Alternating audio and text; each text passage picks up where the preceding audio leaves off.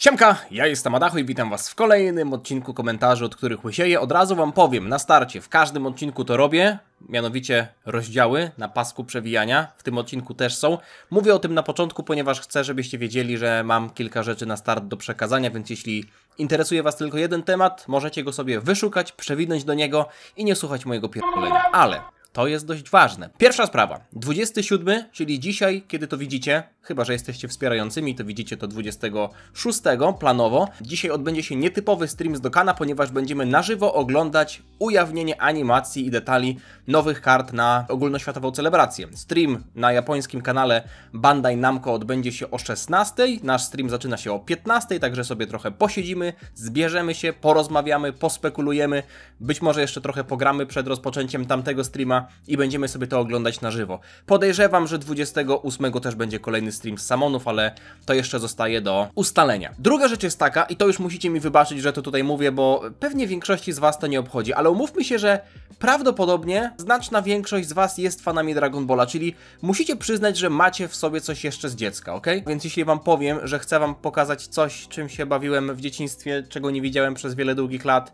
to będziecie słuchać? No mniejsza. Zobaczcie, co moja mama ostatnio znalazła w swojej piwnicy. Czy ktoś z Was kolekcjonował Bionikle? W zasadzie to chyba się powinno czytać Bionicle, nie będę zmieniał nawyków. Jeśli ktoś z Was miał swoje Bionikle, napiszcie mi w komentarzu, jak się Wasze nazywały. Ten nazywa się Gachlok, ten nazywa się Lechwak Kal, ale haha, to nie jest wszystko, patrzcie to. Najpierw Wam pokażę tego. Ten już jest z nowszej serii. Tutaj nie ma napisanej jego nazwy, chociaż z tego co widziałem, to w internecie on ma swoją nazwę. To jest taki specjalny, któremu można puścić takiego bączka. Mój ulubiony zdecydowanie to jest Rachshi Turach.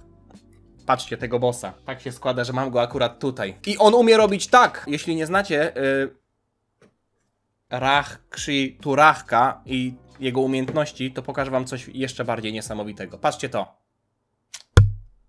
Jeśli jesteście w stanie śledzić naddźwiękową walkę, to byliście w stanie zobaczyć, że Rach Kshiturach wyrzuca taką gumową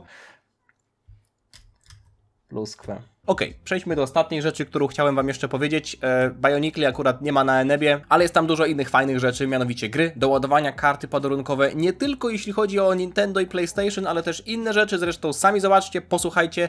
Zapraszam was na stronę eneba.com. Być może a raczej na pewno znajdziecie też tam, w sensie jeszcze nie dzisiaj, ale Sparking Zero w niższych cenach. Zapraszam Was na stronę neba.com, na której znajdziecie całą masę gier na przeróżne platformy, a także doładowania czy karty podarunkowe. To wszystko łączy jedno. Oferty są w zabawnie niskich cenach, a zakupy są szybkie i przede wszystkim bezpieczne. Wiem, bo sam nieraz tam kupowałem. Na Enebie są również Dragon Ballowe produkty, a jeśli będziecie mieli trochę szczęścia, może uda Wam się dorwać tutaj najnowszą grę DB, Sparking Zero. Linki do eneba.com zawsze znajdziecie w opisie mojego filmu, więc śmiało klikajcie i poszukajcie czegoś dla siebie. Dzięki za uwagę, wracamy do odcinka. No dobrze. Przejdźmy do pytań. ZZ, czy to nie ironia losu, że Kakarot, tudzież Goku, mając tak wiele transformacji, nie miał jeszcze takiej z zielonymi włosami? Z jego pomarańczowym gi wyglądałby jak marchewka, byłby wojownikiem transcendentno-kompletnym, a sam Dragon Ball byłby pikiem kinematografii. Myślę, że możemy winić o to ludzi, którzy tworzyli film Dragon Ball yy, Z Broly. W zasadzie ten pierwszy film z Broly. Legendarny Super Saiyanin? Jaki był oryginalny w ogóle tytuł tego filmu? Chodzi o ósmy film z podznaku Dragon Ball Z, czyli ten pierwszy film z Brolim, ponieważ tak na dobrą sprawę, w tamtym momencie historii jedyny kolor włosów Super Saiyanina i jakichkolwiek innych transformacji, no to był złoty, prawda? I wiemy jak wygląda historia z tym złotym kolorem. Toriyamie się nie chciało malować włosków, więc stwierdził, że w mandze będą białe, no a w anime wyglądały złoto, więc ludzie, którzy tworzyli film z Brolim, mogli od tego złotego, no bo Broly to była mutacja, więc powiedzmy, że był to Super Saiyanin, ale trochę inny, więc od koloru żółtego, złotego, żółtego, mogli pójść albo w stronę zieleni, albo w stronę pomarańczu, prawda? Gdyby poszli w stronę pomarańczu, mogłoby to być też fajne przedstawienie mutacji Broliego, bo też byłby to kolor podobny do tego złotego, tylko może taki bardziej ostry, agresywny, bardziej podchodzący pod czerwień, płomienny. No a poszli w stronę zieloną. No i przez to tak naprawdę już nikt poza Brolim tej zielonej formy raczej mieć nie może, bo, no bo to po prostu już jest zarezerwowane dla tej mutacji. No, nie jest wykluczone, że kiedyś zobaczymy formę z pomarańczowymi włosami.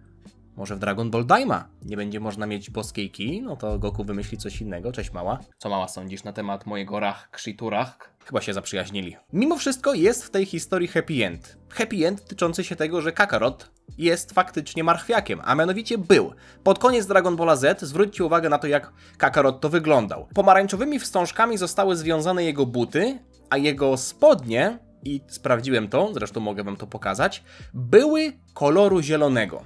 Znalazłem ten kolor w internecie, to jest kolor bardziej przypominający kolor zielony niż kolor niebieski.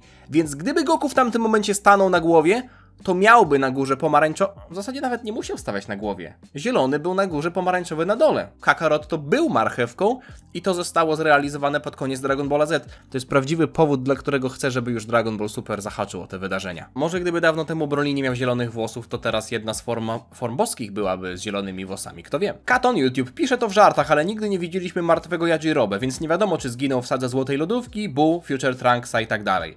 Tak naprawdę widzieliśmy Yajirobe wydaje mi się, że tuż przed śmiercią albo w momencie umierania, ponieważ ten obrazek przedstawia tutaj Yajirobe w podbramkowej, delikatnie mówiąc, sytuacji, więc możemy się kłócić, czy Yajirobe już tutaj jest w zaświatach, czy jeszcze go nie ma w zaświatach. Tak czy siak, raczej do zaświatów niedługo trafi.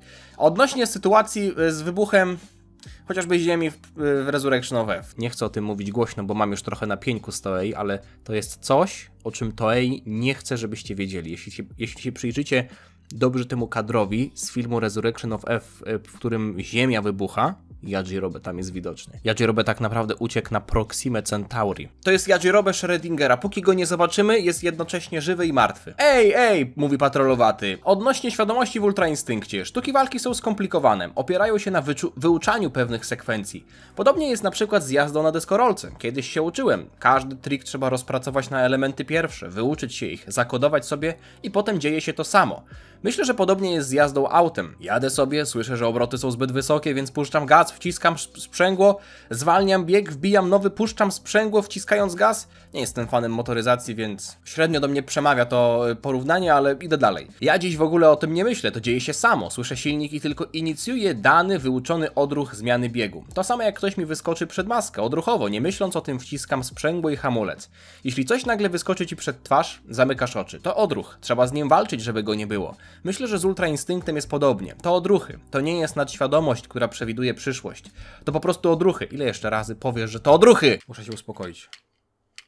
Tylko jeszcze bardziej, bo normalnie jest tak, że coś możesz zrobić sam, na przykład zabrać rękę, jak dotkniesz czegoś ciepłego. Jak dotkniesz czegoś gorącego, to twoja podświadomość czy tam inny twór cofa automatycznie twoją rękę, zanim sam sobie o tym pomyślisz. A Ultra Instynkt działa jeszcze szybciej, bo impuls nie pochodzi jakby z głowy. Im bardziej się to tłumaczy, tym bardziej się mieszam, ale i tak będę obstawał przy tym. Ma to sens. Ale nic nie będę więcej dodawał, bo i tak już mi leci para z uszu.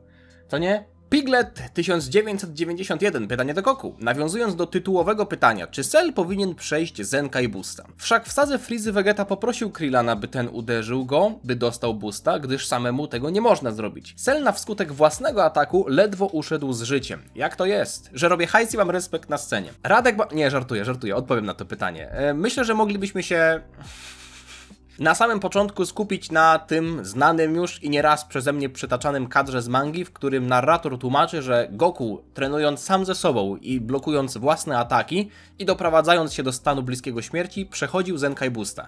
I tylko pytanie, czy przechodził Zenkai Boosta przez to, że nie był świadomy tego, czy przechodził Zenkai Boosta przez to, że ta zasada, o której mówił Vegeta, po prostu jest nieprawdziwa? Może Vegeta miał złe wyobrażenie na temat Zenkai Boosta, może nie był świadomy tego, że samemu można się ranić. Na pewno było tak, że Cell o tym wiedział, ponieważ miał komórki Saiyan, potem oczywiście powiedział o tym, więc mamy oficjalnie jakby potwierdzone, że Cell był świadomy tego, że przechodzi Zenkai Boosta, więc, więc w takim razie dlaczego przeszedł Zenkai Boosta? No może jest tak, że po prostu każdy przechodzi Zenkai Boosta, jak jest blisko śmierci, nawet jak o tym wie, ale Ciekawsze wytłumaczenie może być takie, że tak naprawdę Cell jako sztuczna forma życia, stworzona, ok, przez komputer w większości doktora Giro, ale też zaprojektowana przez doktora Giro, mogła mieć system autodestrukcji, który nie pochodził z ciała Cella. To oznacza, że mógł mieć po prostu zwykłą bombę w swoim ciele. Nie taką bombę, wiecie, czarna kulka z lądem, jakąś biobombę, która nie była w 100% pochodzenia Sela. Wiecie o co chodzi? On nie wyhodował w sobie tej bomby. To nie było tak, że rozsadził się za pomocą ki. W momencie, w którym się wysadzał, Sel mówił, że wybuchnie za tyle i tyle sekund. Gdyby sam się nadymał swoją ki, mógłby to kontrolować. Ale to wyglądało tak, jakby uaktywnił jakiś system niezależny od niego i to on sprawiał, że Sel został zniszczony, więc pośrednio Cell zniszczył faktycznie samego siebie, ale nie zrobił tego bezpośrednio, bo bomba, która go wysadziła, albo ten system, który wysadził Cella, nie był jego, był jakby włożony do jego ciała, jeśli to ma sens, więc może dlatego przeżył Zenkai Boosta. I teraz już na pewno, Radek Balzary. Siemanko! Od jakiegoś czasu czytam sobie od nowa mangę Dragon Balla i na początku odcinka 343 Piccolo przyznaje, że symulował zranienie z ręki, a właściwie to z oczu Androida 12. Radar Karsz, Karsz! Jak ty się nazywałeś? Łatwiej będzie mi go nazwać Turek. Nigdy więcej kebaba u Turka. Yy, nie 12 Androida, a właściwie z oczu Androida 20. Myślę, że to może być kolejny dowód na cwaniactwo Piccolo oraz fakt, że w firmie Dla Dragon Ball Super Hero istotnie udawał śmierć poniesioną rzekomo z ręki Cella Maxa. Po prostu ten typ tak ma. I również z tego powodu jest to moja ulubiona postać w całym Dragon Ballu. Ciekawi mnie, czy zauważyłeś już podobieństwo tych scen i co o tym myślisz. Pozdro! Pozdro, nie zauważyłem, ale podoba mi się to ocieplanie wizerunku Dragon Balla Super. Jeśli coś się pojawia może niespójnego albo głupiego na pierwszy rzut oka, potem się okazuje, że tak naprawdę jest to nawiązanie głęboko zasiane do sceny w Dragon Ballu Z, w którym było widać jeśli się przyjrzeliśmy na pierwszy rzut oka, to nie, ale jeśli się przyjrzeliśmy dłużej, to było widać ukryty charakter Piccolo, to cwaniactwo właśnie i to zostało inteligentnie przez scenarzystów filmu Superhero wykorzystane. 10 na 10 obejrzałbym drugi i trzeci raz. Adrian Jaboński, siema Adachu. Słyszałem, że świętej pamięci Akira Toriyama za wiele rzeczy nie lubił Dragon Balla Z. Nie podpisuję się pod tym, bo nie wiem. Między innymi za to, że Toei zrobiło z Goku poważnego obrońcę świata. To słyszałem. Ale to po, bo według jego wizji Goku nigdy nie miał się tak zachowywać. Goku miał po prostu kochać, walczyć i się samo doskonalić, co było dobrze widoczne w Superce. O, proszę bardzo, jednak Super jest lepsza niż Dragon Ball Z. Pod niektórymi względami.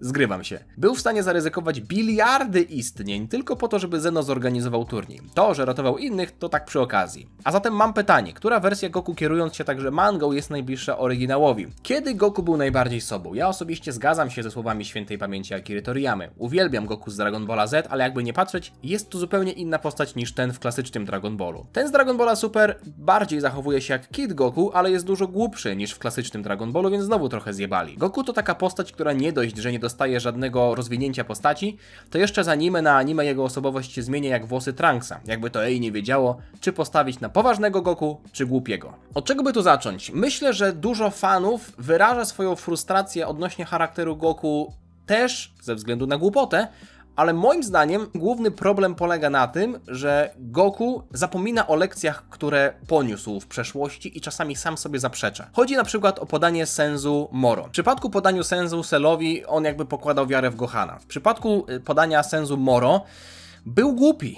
Ufał Moro, że ten się zmieni. Mimo tego, że widział, że na to nie ma żadnych szans. Może chciał mieć czystą kartę. To nie było tak, że on mu wierzył, ale chciał chociaż spróbować, żeby nie było, że, że nie dał mu drugiej szansy, no nie? Może to była sajańska krew, która była silniejsza niż jakiś zdrowy rozsądek i w większości przypadków myślę, że tak to moglibyśmy tłumaczyć, no ale są sytuacje, w których Goku jest po prostu głupi.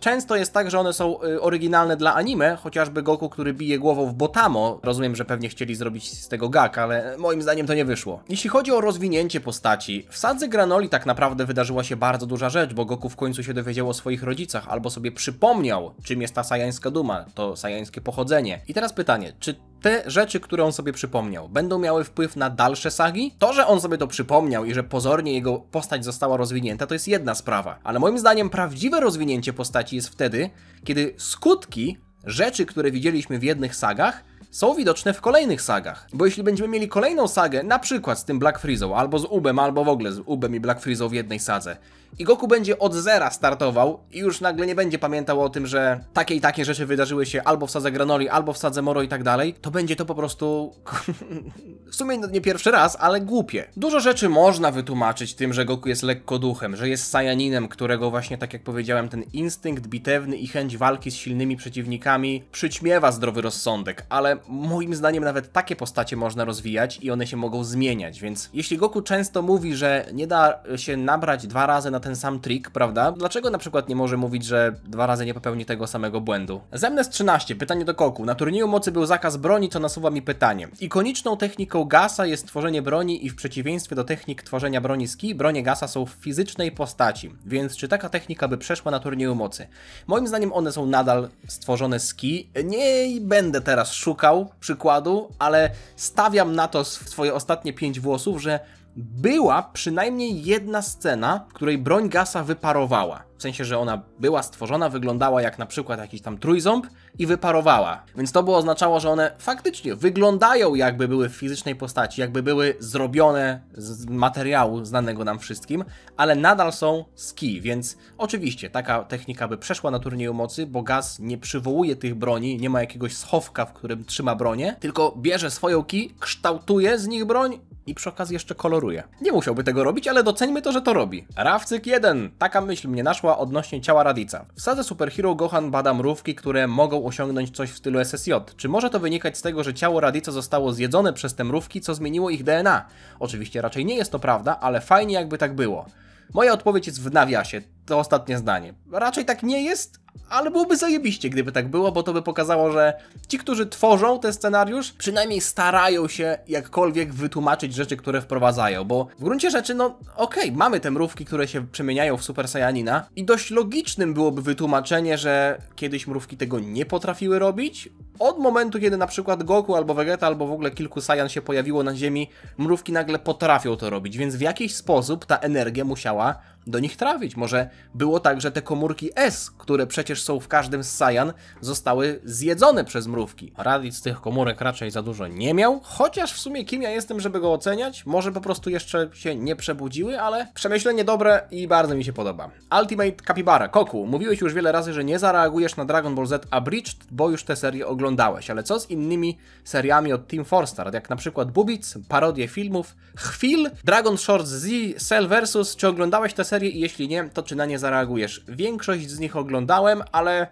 powiem wam jeden raz, mam nadzieję, że nie będę się musiał powtarzać, nie zrobię reakcji na żadną z tych serii od Team Star. Nie interesuje mnie to po prostu. Nie mówię, że nie lubię, bo większość z tych rzeczy mi się podobała, ale macie czasem tak, że oglądacie coś, co jest parodią albo jaką, jakąś, nie wiem, no niech będzie jakaś komedia, prawda? Czujecie, że jest to, że jest to ok, ale w ogóle się nie śmiejecie, no nie? Nie ma żartu, który by sprawił, że się nawet uśmiechniecie, ale to nie jest tak, że to jest na tyle nieśmieszne albo na tyle żenujące, że to wyłączacie. Albo że to w ogóle jest żenujące. Nie. Ja tak mam właśnie z Dragon Ball Z Abridged, że doceniam to, w jaki sposób jest zrobiona ta seria, rozumiem te żarty, ale one mnie nie bawią na tyle, żebym jakoś miał mega mocno reagować, więc to jest moja odpowiedź. Smigiel, pytanie do Koku. Może weźmy pod lupę bardziej poboczną postać, taką jaką był Puj Puj. Jak wiemy, Vegeta zniszczył go w sekundę, ale Kaioshin mówił, że jest on bardzo silny. Więc jak myślisz, był on na poziomie Zarbona, oddziału Ginyu, czy może androidów? To jest bardzo ciekawe pytanie i zrobiłem tutaj troszeczkę głębszy research, ze względu na to, że zaciekawiło mnie to, czy są jakieś oficjalne poziomy mocy z tamtych czasów. I co się okazuje? Są. są tylko że trzeba troszeczkę poszperać i nie są to takie poziomy mocy, które do tej pory znamy, ale można je przekonwertować. Zmierzam do tego, że jednostkami mocy, o których będziemy tutaj mówić, są niejakie Kili. Ta nazwa po japońsku czytana jako Kiri, no to jest nawiązanie do tego, że poziomy mocy to po japońsku Riki. Kiri Riki. Także te jednostki mocy, którymi posługiwał się Babidi i wszyscy żołnierze Babidiego na tym, na tym urządzeniu, którym wykradali energię, to były właśnie Kili. I zostało potwierdzone, że Jakon, czyli postać, która była silniejsza od Pujpuja, no bo możemy jakby ustalić siłę tych żołnierzy Babidiego na podstawie tego, na jakim poziomie byli w tym, w tym jego statku, prawda? Na początku była walka z Pujpujem, potem niżej był Jakon i niżej był Dabura. No na początku był w ogóle jeszcze Jamu i Spopowicz, ale jeśli pamiętacie, Pujpuj bez problemu pozbył się Jamu, także Jamu i Spopowicz byli na samym dole, na samym końcu. Więc do Pujpuja jeszcze wrócimy, bo odnośnie Pujpuja, spoiler, żadnych szczególnych informacji nie mamy, oprócz tego, że no, był uważany za jednego z najsilniejszych tam wojowników u siebie. Ale Jakon, czyli postać, która biła się z Goku, a w zasadzie którą Goku wysadził za pomocą swojej aury Super Saiyanina, miała moc 800 kili. I co się okazuje? W 2004 roku w znanym nam dobrze V-Jumpie zostało napisane, że jedno kili równa się 50 tysięcy znanych nam z Dragon Balla jednostek mocy. Więc 800 kili, które miał Jakon, to było 40 milionów.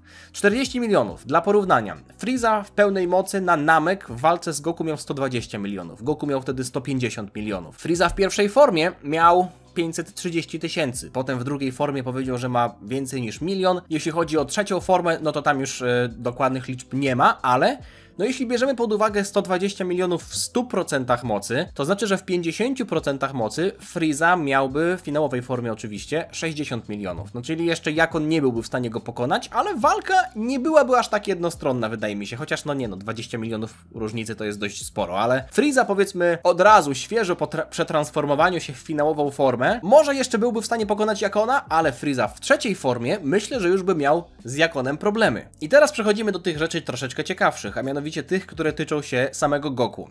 Zostało powiedziane, że tak jak Jakon miał poziom mocy 800 kili, tak Goku w Super Saiyanie miał 3000 kili. No i wiadomo jak ta walka się potoczyła. Goku bez problemu go pokonał. Tylko, że Problem polega na tym, że 3000 kili w przemnożeniu przez te 50 tysięcy, jedno kili to 50 tysięcy znanych nam jednostek mocy, to dałoby 150 milionów. Więc to by sugerowało, że Goku w Majin Busadze podczas walki z Jakonem w Super Saiyanie miał dokładnie taki sam poziom mocy jak na Namek, kiedy pierwszy raz użył tej formy, a wiemy, że jest to nieprawda. Można oczywiście powiedzieć, i raczej tak trzeba powiedzieć, że no, Goku wtedy nie używał pełnej mocy. No, to jest raczej oczywiste, prawda? Przecież mógł kontrolować swój poziom mocy, więc przetransformował się na początku w Super Saiyanina, ale to nie była jego pełna moc, więc świeżo po transformacji miał 150 milionów, ale gdyby użył na przykład pełnej mocy, będąc w Super Saiyanie, może doszedłby do 200 milionów. Albo na przykład zamiast 3000 y, kili miałby miałby 4000 kili albo 5000 kili. Tak czy siak, Goku w tamtym momencie był w stanie używać Super Saiyanina 2. Jeśli weźmiemy te przeliczniki, które kiedyś oficjalnie pojawiły się w przewodnikach, tam mamy informację, że Super Saiyanin 2 jest silniejszy od Super Saiyanina dwukrotnie. Czyli jeśli Super Saiyanin to jest mnożnik razy 50 bazowej formy, Super Saiyanin 2 to jest mnożnik razy 100 bazowej formy. Więc te 3000 kili mielibyśmy zamienione na 6000 kili. I taki Goku byłby silny przynajmniej, zakładając, że nie używa pełnej mocy, w Super Saiyanie 2. 6000 kili przemnożone razy 50 tysięcy dałoby nam 300 milionów jednostek mocy. Tak silny przynajmniej był Goku w Super Saiyanie 2 w Majin Busadze. I możemy iść dalej, bo wiemy, że w tamtym momencie miał już Super Saiyanina 3, który jest potwierdzony przez te same mnożniki, 4 razy silniejszy niż Super Saiyanin 2. Więc jeśli sobie pomnożymy, daje nam to miliard 200 tysięcy jednostek mocy. Jest to równowartość 24 tysięcy kili, więc jeśli Goku w Super Saiyanie 3 miałby przynajmniej, to jest słowo klucz, przynajmniej 24 tysiące kili, jak on miał 800, to znaczy, że Goku w Super Saiyanie 3 byłby 30 razy silniejszy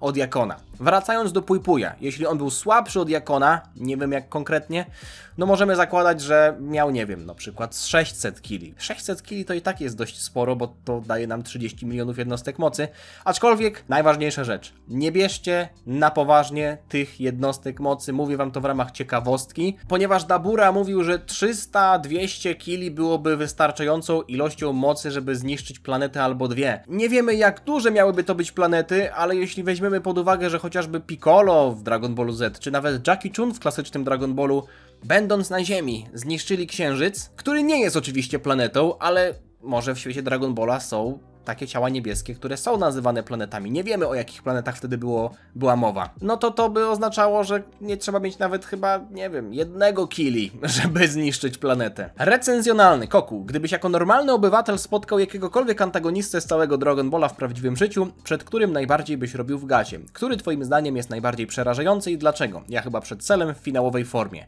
Zastanawiałem się nad celem w pierwszej formie, ale przyznam wam się, pierwsza rzecz jaka przyszła mi do głowy to jest to. Self w formie cykady. No tak naprawdę nie widzieliśmy go za bardzo, tylko widzieliśmy skorupę, którą on zostawił, ale gdybym spotkał takiego biegającego Sela w Dragon Ball The Breaker z tej grze, zresztą znacie ją prawdopodobnie, jak się gra Selem, to na początku jest taką popierniczającą cykadą. Przerażające jest to. Ja nie lubię takich dużych owadów, więc myślę, że to byłaby ta forma. Tomasz Stachowiak, cześć Adasiu, cześć. Oryginalny Cell miał komórki pięciu wojowników. Son Goku, Vegety, Piccolo, Freeza i Króla Colda. Czy jednak Cell Max, który był ulepszoną wersją pierwotnego komórki Kurczaka, miał w swoim składzie również komórki innych wojowników, takich jak Son Gohan, Android 1718, Majin Buu czy nawet Sambirus. Armia Czerwonej Wstęgi szpiegowała wojowników Z od lat, więc nie mieliby żadnego problemu, aby pobrać ich komórki przy pomocy jakichś mikro-robotów. Nie mamy jawnie powiedziane, czy Cell Max miał komórki w ogóle też Goku, Vegety, Piccolo. Ja stawiam, że nie. ze względu na to, albo inaczej. Na pewno w tej formie, w której go oglądaliśmy, w tej niekompletnej formie, nie był w stanie utylizować komórek, nawet gdyby je miał. Dlaczego? Prosta sprawa. Dlaczego nie odrodził sobie ręki po tym, jak Gamma 2 mu ją urwał? Jeśli miałby komórki Piccolo, byłby w stanie to zrobić, prawda? Także myślę, że dyskusja odnośnie tego nieperfekcyjnego Cella Maxa, którego zobaczyliśmy w filmie, kończy się tutaj. Ale czy ten perfekcyjny Cell Max, który zostało powiedziane przez świętej pamięci Akiry Toriyama, już nie będę czytał całego cytatu, ale pokażę wam go tutaj, gdyby został ukończony, zostałby meta człowiekiem, którego nawet Broly nie byłby w stanie pokonać, ale przez to, że na siłę został aktywowany wcześniej, zmienił się w potwora nie do kontroli. Także Selmax był postacią, która nie była ukończona, dlatego brakowało mu piątej klepki, dlatego też brakowało mu pełnej mocy. Selmax w obecnej formie nie byłby w stanie pokonać Broliego, ale gdyby został ukończony, kto wie jak byłby silny. Może wtedy dopiero te komórki jeśli one takowe tam w ogóle były, byłyby aktywowane, no bo tak jak widzieliśmy, nie miał prawdopodobnie możliwości regeneracji, no bo by to zrobił, gdyby umiał, tak myślę, ale jakby to wyglądało po przejściu w tę perfekcyjną formę, może dopiero wtedy one by się uaktywniły, kto to wie, chociaż zwróćcie uwagę na to, że Selmax, kiedy był aktywowany, to był malowany jakby farbą, że kolory były na niego nakładane, to by mogło sugerować, że był bardziej sztuczny niż jakimś bio bionarzędziem, no nie? Jakura SSJ, czy tym obiadem był zajebisty ryż? Nie, ostatnio robiłem zajebiste placki sobie. Korzystając z okazji, właśnie sobie odświeżyłem walkę i Piccolo i Goku z 23 Tenkaichi Budokai i zrodziły się we mnie pytania odnośnie Piccolo. Dlaczego Piccolo daje mało wybuchu przy przebiciu przez Goku? Odkąd nameczanie wybuchają? Ogólnie jest to głupie, że czasem przeciwnicy wybuchają przy śmierci, jakby, no nie wiem dlaczego wybuchają. To i tak jest niekonsekwentne, ale mam pewne wytłumaczenie. Może jest tak, że niektóre ciała, może to nie jest kwestia wytrenowania, może jest, ale niektóre ciała po śmierci zachowują się jak balon, który się przebija i wtedy on wybucha, prawda? No może niekoniecznie balon wybucha, bo to nie jest jakby wielka eksplozja, to nie jest do końca to samo, ale daj wam tylko jakby tak poglądowo znać o co mi chodzi. Może jest tak, jak w przypadku Moro, że w niektórych ciałach ta energia jest w taki sposób skondensowana, że przy jakimkolwiek przebiciu albo przy zniszczeniu ta energia po prostu się ulatnia w taki sposób i widzimy eksplozję. A czasami może jest tak, jak z balonem, jak zrobimy dziurkę, ale ją tak trochę przytrzymamy, to wtedy powietrze schodzi i balon nie robi wielkiego, szybkiego wybuchu, prawda? Od czego to zależy? Chyba od humoru animatorów. Pieski, siemaszko Adacho, nie jest tajemnicą, że imiona bogów zniszczenia pochodzą od nazw alkoholi i koktajli. Uważa, że to jest jakaś alegoria, sugestia, że alkohol niby taki neutralny, może fajny, ale prowadzi do zniszczenia? A może cały Dragon Ball był o walce z alkoholizmem, albo raczej przestrogą? Ziemianie poznają warzywka, pod ich wpływem zaczynają prowadzić prozdrowotny tryb życia, trenują. Mamy walkę ze skutkami spożywania alkoholu, czyli podatność na wychładzanie organizmu. Pokazali nam, że naturalne zdrowie jest lepsze niż zastępowanie go zmyślną technologią. Mamy atakowanie komórek, jest też obżarstwo. Ja przepraszam, jest wcześniej, nie wyspałem się i czuję nieodpartą potrzebę dołożenia cegiełki do twojego wyłysienia. Pozdrawiam psiarsko, znaczy dziarsko. Cegiełkę to ty właśnie lepiłeś w tamtym momencie, bo takie pomysły to się pojawiają albo na kiblu, albo pod prysznicem. Mimo wszystko chciałem to przeczytać, bo, bo niesie to fajny przekaz yy, odnośnie tego alkoholu, który prowadzi do zniszczenia. To też lekcja dla młodszych widzów, bo wiem, że nie oglądają mnie tylko dziadki z RTL 7. Rozliczenia 917, to ciekawy nick. I, awatar zresztą też bardzo ciekawy.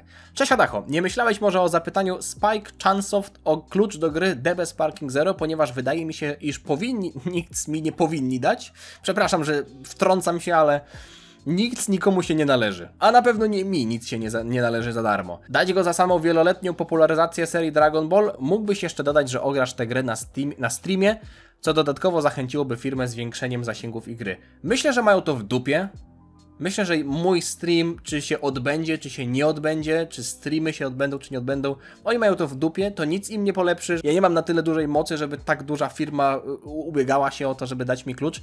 Powiem wam tak, ja gry jeszcze nie mam, mam zamiar ją sobie kupić, ale y, poczekam do października, może do tego czasu wynajdę jakąś promocję, bo ostatnio właśnie jeden, już mówię to któryś raz, ostatnio mój widz na grupie facebookowej Zakola Adacha wrzucił zdjęcie, że na Enebie wynalazł kluczyk taniej. I ja czekam po prostu na promocję. Po co mam grę kupować teraz w sierpniu, skoro i tak zagram ją dopiero z, zagram w nią dopiero w październiku, więc nie wiem do kiedy ten preorder będzie dostępny, ale plan mam taki, że grę po prostu kupię w październiku i, i to tyle. Myślę, że kupię wersję deluxe, bo tam dodatkowo, no kurde, chociaż ona jest tam znacznie droższe, ale przynajmniej jest dostęp do innych DLC, więc myślę, że i tak się będzie opłacać, bo no ja chcę po prostu y, zagrać w każde DLC i wam to pokazać, tak samo jak zresztą y, Kakarota, prawda, więc nie będę do nikogo pisał, nie będę nikomu się naprzykrzał, naprawdę nie uważam, że powinni mi cokolwiek dać za darmo, nie, bez przesady. Przestańcie, przestańcie, proszę was. Tomasz, cofam moją subskrypcję, bo pomimo oglądania od powstawania kanału, jak i komentarzy pod prawie każdym filmem, nigdy mi Adacho nie odpisał. Powodzenia. Od dzisiaj już nie oglądam, zwłaszcza, że odcinki są nudniejsze od jakichś trzech miesięcy. Żegnam i życzę powodzenia.